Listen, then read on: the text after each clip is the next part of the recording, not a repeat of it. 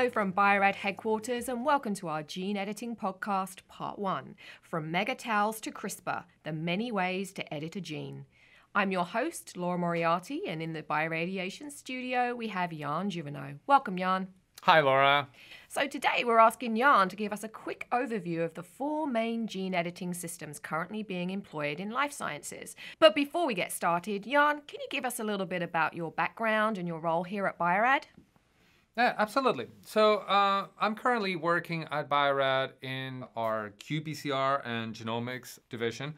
And uh, before that, I was very heavily involved, of course, in uh, in R&D. In particular, I spent five years of my life at uh, Sangamo Biosciences, which was uh, a company, uh, which is a company, I should say, uh, that specializes in zinc finger proteins and their applications. So really, you could classify yourself as an expert. Ah, well, that sounds not very modest, and I feel slightly uncomfortable saying so, but let's say that I do have some experience in uh, genome editing. Thanks, Jan. So here's our first question for you. Can you give us a little background on gene editing? You know, what is it? How long has it been used in life sciences? So, back in my days in the lab when Earth was still soft, the earliest forms of gene editing were basically um, they were all based on homologous recombination, and which is basically the ability to exchange nucleotide sequences between you know similar pieces of DNA.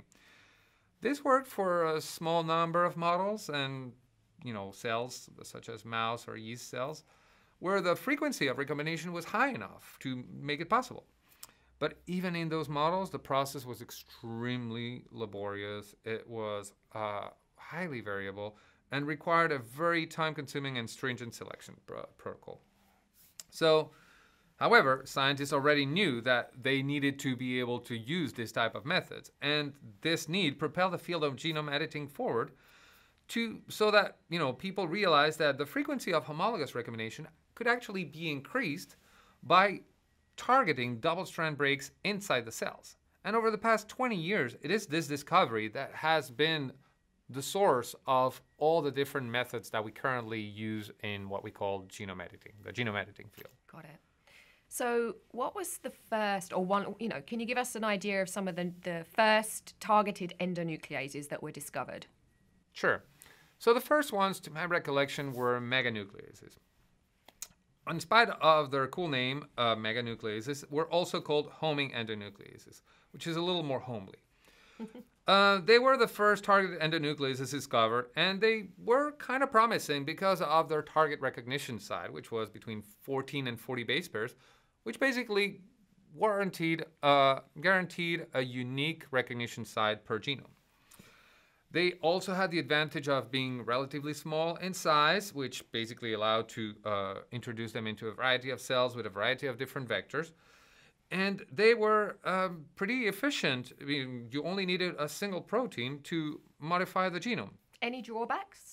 Of course. they were actually pretty difficult to engineer. Therefore, if you were looking for a different gene or a different site in a gene to modify, that required very advanced protein engineering. And that's really what kept meganucleases from being widely adopted. They're related to them were the megatals. Really? Mega Tals? What a cool name. I know. It should be in an anime, uh, Japanese anime or something like that. It is a very cool name. So megatals combine the easy to design DNA binding domains from talons with the high cleavage efficiency of meganucleases in single chimeric proteins. Both megatals and meganucleases are very promising for therapeutic applications because of their compact size and high cleavage efficiency but they're less frequently used for research applications because of the previously mentioned design challenges. So, what about the first gene editing tool to make it to clinical trials? Can you tell us about that? Of course, I can, Laura. They were the zinc finger nucleases, and although they were the first to make it into clinical trials, they were a bit more difficult to control than we anticipated. They were the first targetable endonucleases that were relatively easy to design. These artificial nucleases combine DNA binding domains, called zinc fingers, and which are normally used by transcription factors to recognize the genes that they regulate, together with a non-specific endonuclease domain, FOK1.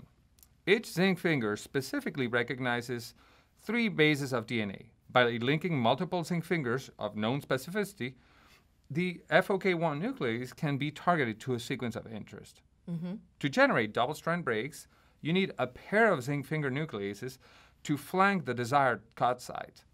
At first, this system was promising because of the modular design, but zinc fingers proved to be a little more difficult to optimize than anticipated, mainly because the fingers are not truly independent from one another.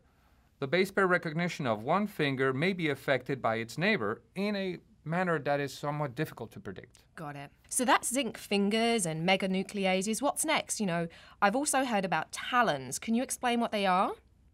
Well, of course. So talons are those ugly looking claws that are at the back of a rooster's foot. um, is that what you were referring to? Yeah. Yeah, those ones. No, not really. I was thinking about gene editing for this one, but. Um, oh, you mean talents? Talents, pardon me. sure, sure. All right, talents. So, talents are uh, stand for transcription act, transcription activator like effector nucleases. Oh, no wonder they're called talons. yeah, it's a little shorter. Yeah. And the advantage of talons is that they are truly modular. You know, compared to zinc finger nucleases, where you have to, uh, you know, com- combine three base pairs at a time, talons can actually be designed to recognize single bases. So they um, actually use a 35 to 33 amino acid repeat in their protein that is specific for one single base at a time. So you can see that, you know, instead of trying to combine the different triplets that you have in your uh, zinc finger uh, repertoire and, you know, praying that you find that sequence in your promoter or your mm-hmm. gene, you can actually go into any sequence that you like and design the talent for that. So that's really their main advantage. Got it. They also use, similarly to uh, the zinc finger nucleases, a FOK1 uh, nucle- restriction uh, domain. So that allows them to bind to the uh, enzyme, to the DNA, I'm sorry, mm-hmm. and the enzyme will cleave the DNA. So, how does the size of these talons compare to other gene editing systems? So, there is a problem because if you uh, envision a 33 to 35 amino acid repeat for every single base pair, and you have to have a recognition site in order to be unique or relatively unique has to be at least 12 base pair long. You can see how quickly these proteins can grow. And yeah. the more specific you are, the more uh, modules you have to attach together. Got it. So um, most talons typically consist of 20 repeating modules, which means that you know you cannot really use every vector uh, that is currently used for um, for delivering them into target cells. Whoa, so, what about CRISPR? Last but not least, it's been in the news so much lately. You know, what is CRISPR and how is it different from these other systems you've told us about today? So, CRISPR, which stands for Cluster Regularly Interspersed Palindromic Repeats Cas9 System. Whoa. Is, yes. yeah. it's hard to say. yeah, tell me about it. So, we're very grateful for the CRISPR acronym. but you know what? CRISPRs are revolutionary. They are very easy to design and amenable to multiplexing. The CRISPR Cas9 system is revolutionizing gene editing, but there are still some specificity concerns that need to be resolved. CRISPR Cas9 is the simplest gene editing technique uh, to date and has truly changed the, the field.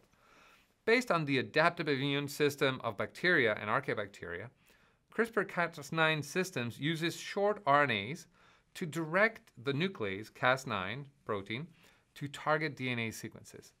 Cas9, just like the FOK1 endonuclease that is utilized by zinc finger nucleases and talons, is a non-specific endonuclease that creates double-strand breaks. What sets CRISPR apart from other techniques is the simplicity. Because it uses RNA instead of a protein to target the uh, nuclease activity, CRISPR-Cas9 can be retargeted by simply synthesizing or ordering a new guide RNA or gRNA. The RNA guide also makes these techniques amenable to a high order multiplexing, large scale screens that were before not even thinkable. using hundreds or even thousands of guide RNAs in a single experiment. Wow, CRISPR sure, you know, it really sounds like the perfect tool for gene editing. But, you know, are there any drawbacks to using CRISPR? Of course. Oh.